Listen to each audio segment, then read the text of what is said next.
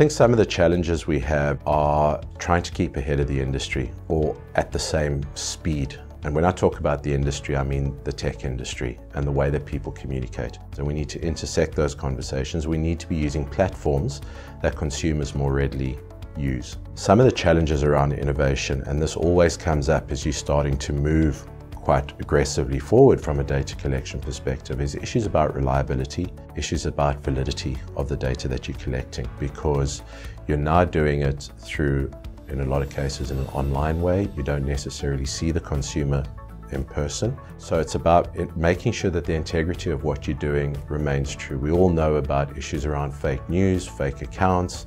You need to be certain as to who you are actually talking to and finding a way to actually validate the data that you're truly collecting. In a lot of ways, the technology leads our innovation and the way that people now engage with technology and the way that they consume technology as well as products and the way that they interact is now forcing us as an industry to move forward. So we kind of almost following, not necessarily innovating as much purely from a data collection perspective.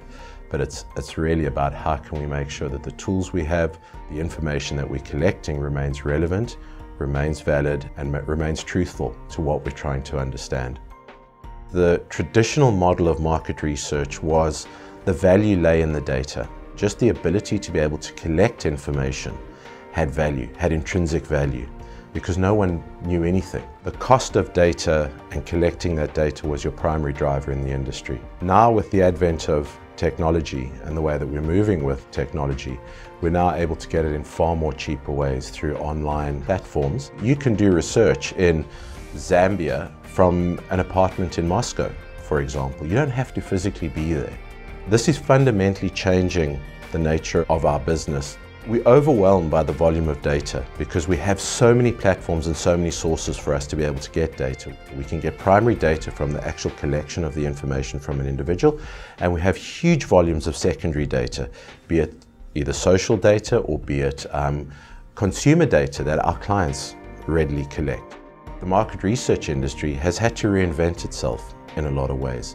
Its value is not in its ability to be able to collect data. Its value is what it does with that data and the impact that that, that data has on its client's business.